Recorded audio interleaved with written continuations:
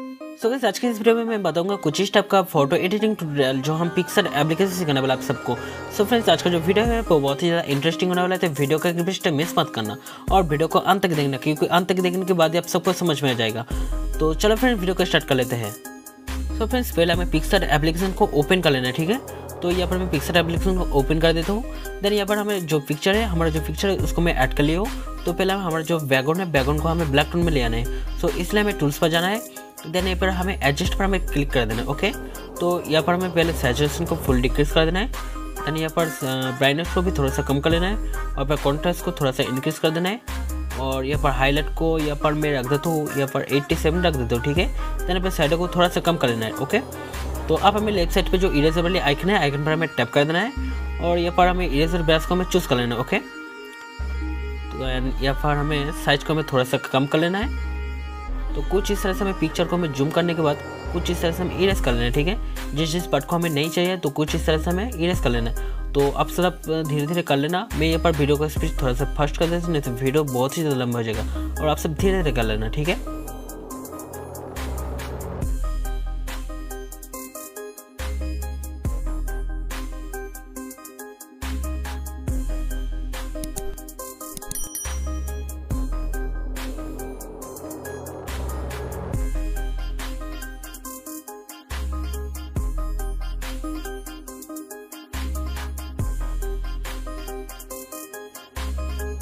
तो यहाँ पर देख सकते हो हमारा जो बैगन है, बैगन ब्लैक टोन में आ गया है। तो सिंपली पर हमें क्या करना है, आप हमें इफ़ेक्ट पर जाना है। देन यहाँ पर बैकग्राउंड जो है बैकग्राउंड को थोड़ा सा ब्लैक ब्लैक कर लेना है। सो इसलिए हम पहले वाला जो ब्लर ऑप्शन है, उस पर हमें क्लिक कर देना है और ब्लर को हमें थर्टी रख देना है। देन यहाँ पर हमें ट्वेंटी सेवन रख देता हूँ। देन आप हमें क्या करना है, आप हमें इरेजेबली ब्रश को हमें चूज़ कर लेना है। देन यहाँ पर हमें, यहाँ पर बैकग्राउंड पर हमें क्लिक कर देना है। तो यहाँ पर देख सकते हो गाइस ऑटोमेटिकली हमारा बैकग्राउंड जो है, वो ब्लैक टोन में आ गया है। सो सिंपली आप हमें इरेजर ब्रश को हमें चूज़ कर देने के बाद, यहाँ पर हमें हार्डनेस को फुल कम कर लेना है और साइज़ को थोड़ा सा इंक्रीज कर देना है। देन गाइस कुछ इस तरह से हमें इरेज कर लेना है। तो इस हमारा देख सकते हो गाइस अब हमारा जो परफेक्ट ब्लर है तो आ गया है हमारे बैकग्राउंड के ऊपर। तो सिंपली आप हमें डन कर देना है पिक्चर को। तो यहाँ पर हमारा काम अभी भी खत्म नहीं हो तो अब हमें क्या करना है आप हमें सिंपली इफ़ेक्ट पर जाना है फिर से।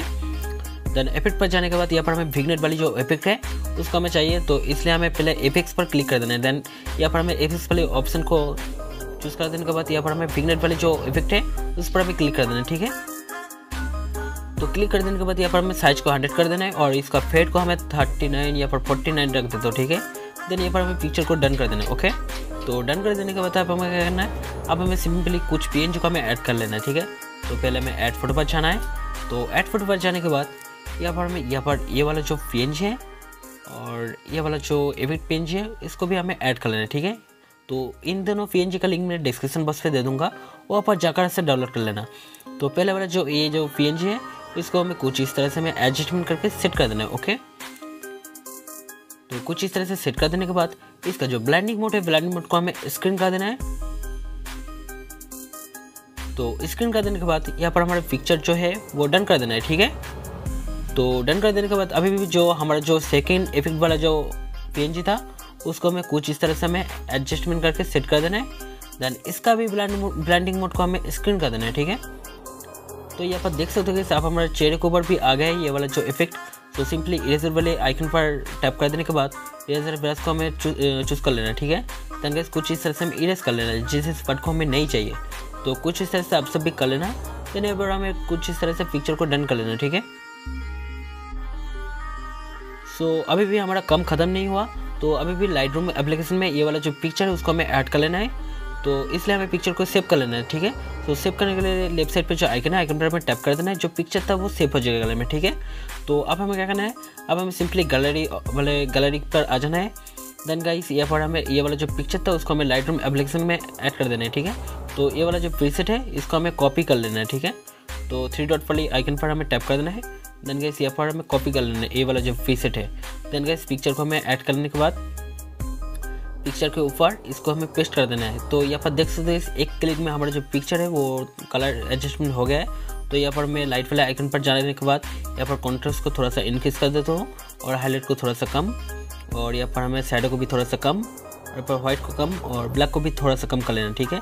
लेकिन देन गाइस टेम्परेचर वाले आइकन पर टेम्प को थोड़ा सा कम कर लेना है। और एक बार अब हमें सिंपली ये वाला पहले वाला कलर को हमें सेचुरेशन को थोड़ा सा कम और यहाँ पर सेकंड वाले कलर को सेचुरेशन को कम और लुमिनस को थोड़ा सा इंक्रीज ठीक है? तो यहाँ पर अब सब कलर एडजस्टमेंट ठीक ठाक से कर लेना देख देख के, ठीक है?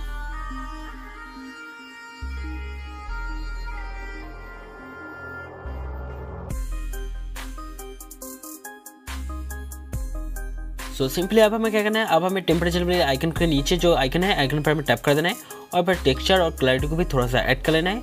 देन गाइस ये वाला जो आइकन पर हमें टैप कर देना है तो यहाँ पर शार्पनिंग नॉइस रिडक्शन और कलर नॉइस रिडक्शन को भी थोड़ा सा ऐड कर लेना है, ठीक है?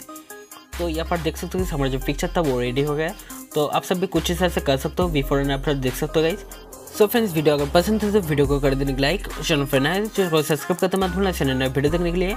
और मेरे इंस्टाग्राम आई को भी फॉलो कर लेना।